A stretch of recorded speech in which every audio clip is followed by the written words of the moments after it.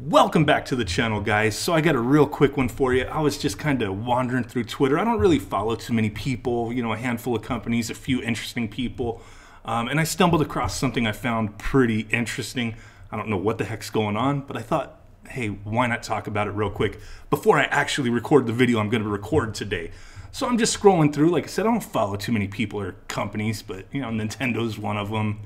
Uh, usually not that interesting. Uh, this looks like a promoted tweet. This wedding photographer caught it all. I can't wait. I'm going to check that out. That's got to be some sweet stuff he caught, right?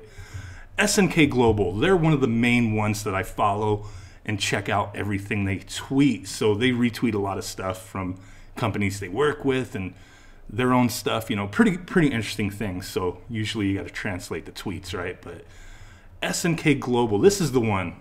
What the hell is this thing? Looks like a little gift package shaped just like the Neo Geo Mini. And duh, it says Neo Geo Mini right on it. What is this thing? So they just tweeted this about an hour ago. I saw it right when they tweeted, but I was driving, so I was like, man, I can't really look at this yet. Um, but it says Neo Geo Mini will prepare a limited edition winter gift for all gamers. That's for all of us, guys. I can't wait. Watch this space. The legacy lives on. Hashtag SNK. Hashtag Neo Geo Mini. So what is this? Obviously, it's a Neo Geo Mini. But I hate this. Why do I hate this?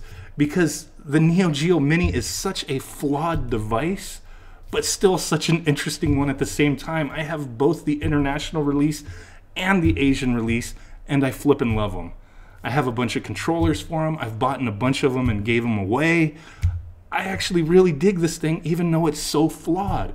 Now, they're making a freaking limited edition one for the holidays. Is it going to be a special color? Is it going to have different games on it? Um, what is it going to be? What what does it come with controllers? Does it come with the stuff you actually need to play the thing? Because that's the main gripe I had with this thing. It didn't come with anything you needed to really play it. you know, which you know, that's not really the main gripe. The main gripe is the visuals, which you play on an HD TV. But a lot of people pointed out if you play it on a 720 TV, which I don't have a TV that's 720, at least I don't think I do. I might. Actually, I think I have an old one. I might have to try it out. But people said if you plug this thing, this thing into a 720p HD TV, um, it looks fine. I don't know how much I believe that, but a lot of people have told me that. So I'm, I'm really curious to see that. But regardless, that's my main gripe with this thing. But this is a limited edition winter gift. And knowing how crazy and stupid I am, I'm going to be on the hunt for whatever the hell this thing is the Neo Geo Mini limited edition winter gift for all gamers. What could this be, guys?